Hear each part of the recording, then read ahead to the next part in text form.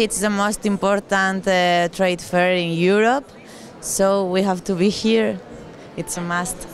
And uh, what about your novelties? Maybe you are here with uh, many new products. Uh, yes, yes, we are a lab that belongs to a winery group, and we have our own molecule patented.